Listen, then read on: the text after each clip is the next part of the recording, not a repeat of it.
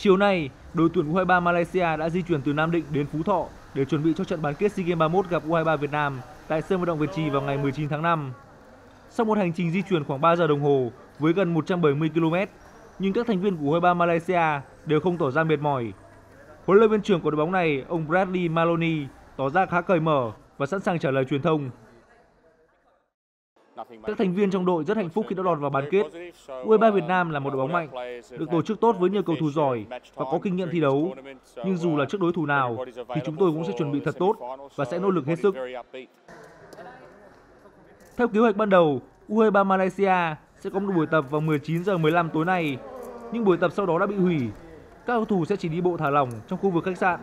U23 Malaysia sẽ bước vào tập luyện vào ngày mai, trước khi bước vào trận bán kết với U23 Việt Nam lúc 19 giờ ngày 19 tháng 5 trên sân vận động Việt Trì.